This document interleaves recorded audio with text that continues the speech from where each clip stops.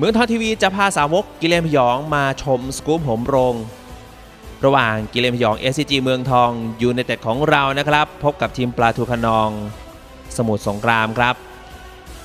ซึ่งทั้งคู่จะเจอกันในวันพุธที่จะถึงนี้วันที่ 13 สิงหาคมช่วงเวลา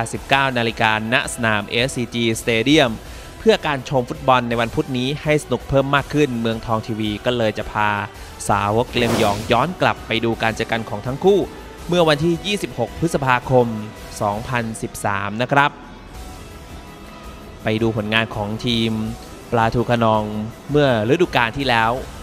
ว่ามาเยือนสนาม SCG Stadium จะได้ผลการแข่งขันอย่างไรกลับไปนะครับ ผู้สาประตูของสโมสรเมืองทองณวันนั้นเป็นวีระเกิดพุทธานะครับ เนื่องจากว่าเจ้าตองกวินยังมีอาการบาดเจ็บรบกวนอยู่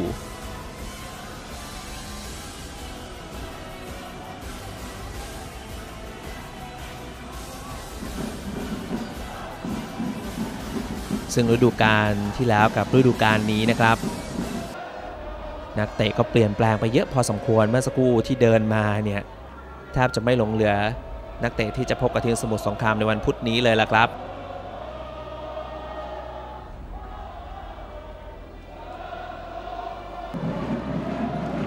มาดูไฮไลท์เกมการแข่งขันกันดีกว่าครับ เป็นกิเลนผยองเขี่ยลูกก็เริ่มเล่นก่อนนะครับ บุกจากทางฝั่งซ้ายมือ ไปขวามือทางจอโทรทัศน์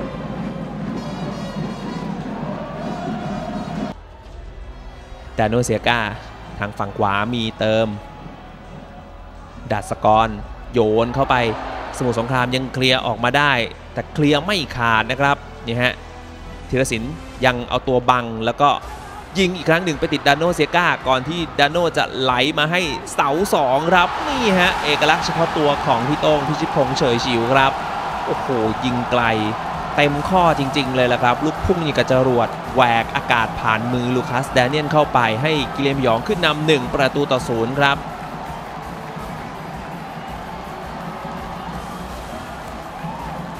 เนี่ยดานโนเซกานะครับ เอาตัวบังแล้วก็คืนย้อนมาให้กับพิชิพงษ์เฉยฉิวนี่ฮะซัดเต็มข้อจริง ๆ ครับแม่ลูกบอลมันพุ่งแรงมาก ๆ ลูคัสแดเนียลเองก็หยุดไม่อยู่แล้วครับ ทั้งที่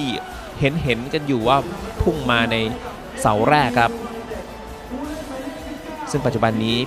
พี่โต้งพี่แป๊ะพิชิพงษ์ชัยชิวก็เป็นกัปตันทีมให้กับทีมเชียงรายยูไนเต็ดอยู่นะครับ ซึ่งผลงานของทีมเชียงรายก็ดีแบบสุดๆ เลยทีเดียว ขึ้นมารั้งถึงอันดับที่ 5 ก่อนช่วงครึ่งเวลาหลังนะครับ ลูกเตะมุมของทีมสมุทรสงครามนี่ฮะ SCG ฉกบอลมาได้ แล้วก็เป็นมาริโอวางบอลเปลี่ยนไปทางฝั่งขวาครับดัสกอนทองเหลาจ่ายคืนกลับมาทางฝั่งซ้ายอีกครั้งหนึ่งมาริโอพักบอลด้วยข้างเท้าฮะแล้วก็คืนย้อนกลับไปที่ดัสกอนทองเหลา แล้วตรงนั้นมีเติมไหมครับ ดัสกอนวางบอลมาทางฝั่งซ้ายครับแม่แล้วมีสราวุธมาสุดโมงย้อนสอนเข้าไปตรงตาข่ายให้กิเลมยองขึ้นนำสองประตูต่อศูนย์ครับ โอ้เป็นการเข้าทำที่สวยงามมาก ๆเลยละครับ น่าจะเป็น ลูกหนึ่งที่สวยที่สุดประจำฤดูกาล 2013 ของทีมกิเลนพยองเมื่อฤดูกาลที่แล้วเลยละครับ มาจากลูกเตะมุมของทีมสมุทรสงครามนะครับ แล้วก็ยาวมาจนถึงจังหวะจบสกอร์ของสราวุธมาสุขครับเนี่ยดัสกรทองเหลามองมองแล้ววาง วางตรงนี้มีสราวุธครับโหม่งก็ไม่ใช่ว่าจะโหม่งง่ายนะครับโหม่งย้อนศรเข้าไปตุงตะข่าย แม่เป็นการเข้าทำที่ยอดเยี่ยมจริง ๆ ทีมเวิร์กล้วนๆแหละครับ มาริโอดัสกร แล้วก็จบที่สราวุธมาสุขก่อนที่ช่วงทดเวลาบาดเจ็บครับ สมุทรสงครามจะไล่ตีตื้นขึ้นมาได้ 1 ประตู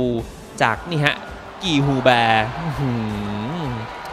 กลับตัววันเล่สวยงามจริง ๆ ผ่านมือวีระเกิดพุทธาเข้าไป แต่ว่าท้ายที่สุดก็ไล่ไม่ทันแล้วครับ จบเกมการแข่งขันนะครับ เป็นกิเลนพยองเอาชนะทีมสมุทรสงครามไปได้ก่อน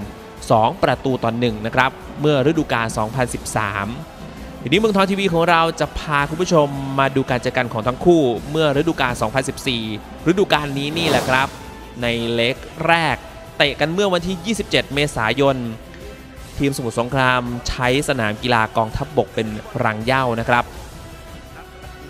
กิเลนผยองของเรามีสตาฟโค้ชเป็นโค้ชพลชมชื่น โค้ชดาวเรน บวกกับโค้ชใหม่สันติชัยเผือกนะครับประสานงานกัน และจังหวะได้ประตูของ SCG เมืองทองยูไนเต็ดมาจากเจโบทรอยครับตวัดกลับเข้ามาแล้วธีรศิลป์แดงดานี่ฮะ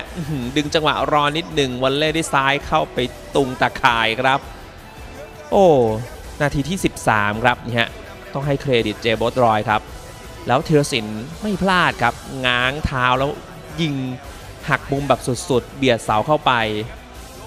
ก่อนที่ช่วงครึ่งเวลาแรกจะมาได้อีกหนึ่งลูกนะครับ จากไซก้อยตีนระเบิดของเจโบทรอยครับไซก้อยหนีมือปินโต้ได้สวยงามมากๆครับเนี่ยแล้วมันเบียดเสาแรกเข้าไปครับเล่นเรื่อยๆแต่ว่าใส่เต็มๆเลยสำหรับเจโบทรอย ช่วงนั้นก็เป็นช่วงที่เจ้าตัวพีคสุดๆเหมือนกันนะครับ แต่ว่าครึ่งเวลาหลังครับ อิสระพงศ์ลีละครนะครับ หลุดมาได้ แล้วก็ยิงไปติดเซฟกวินก่อนที่อาจจะยิงแบงกาครับ ยืนอยู่ตรงนั้น แปโล่งๆเข้าไปให้ทีมสมุทรสงครามไล่มา 1 ประตูต่อโอ้โหเกมรับ2เนี่ยกวินอุตสาเซฟจังหวะแรกของอิสระพงศ์ได้แล้วนะครับ แต่ว่ากิเลนผยองก็มาหนีห่างอีกครั้งหนึ่งจากมาริโอยูรอฟสกี้ครับ โอ้โห สวยงามมากๆครับ ลูกยกของปิยพลผานิชกุล แล้วมาริโอเองก็แปข้ามหัวปินโตเข้าไปตุงตะข่าย เนี่ยลูกยกของปิยพลรู้ขารู้ใจกันลงตัวเป๊ะเลยล่ะครับกิเลนพยองหนีห่างไปเป็น 3 ประตูต่อหนึ่งครับ เท่านั้นยังไม่พอนะครับ มาริโอจ่ายไซก้อยให้กับเจโบไม่จับครับวอลเล่ที่ซ้ายเต็มๆตุงตาข่ายลูกที่ 2 ของตัวเองในนัดนี้ ทำให้เลนพยองขึ้นนำทีมสมุทรสงครามไปเป็น 4 ประตูต่อหนึ่งครับ โอ้โห ทีมเวิร์กนี่ฮะจ่ายไซด์ก้อยมาให้เจบรดรอยครับวอลเล่ทันทีด้วยซ้ายตุงตะข่าย ก่อนที่ช่วงท้ายเกมนะครับ อาจจะยิงเบงกาคนเดิมก็จะมายิงไล่ให้กับสมุทรสงครามไล่มาเป็น 2 ประตูต่อ4นะครับแต่ก็ไม่ทันนะฮะซึ่ง ในวันพุธที่จะถึงนี้นะครับ SCG เมืองทองยูไนเต็ดของเราเองก็ต้องระมัดระวังผู้เล่นสมุทรสงคราม ที่เป็นชาวต่างชาตินะครับ อย่างล่าสุดเนี่ยปาสกามิลเลียนนี่ฮะสามารถยิง 3 ประตูในเกมที่ถล่มเอาชนะทีม Air Force ไปได้ 4 ประตูต่อศูนย์แหมต้องจับตานักเตะผิวสีคนนี้ให้ดีเลยนะครับ ซึ่งวันพุธนี้นะครับ 13 สิงหาคมช่วงเวลา 19นาฬิกาณสนาม SCG Stadium ทั้งคู่จะโคจรมาพบกันอีกครั้งหนึ่ง เป้าหมายของทีมกิเลนพยองมีอยู่โจทย์เดียวครับ คือคว้า 3 คะแนนเพื่อที่จะลุ้นตำแหน่งการยืนของตัวเอง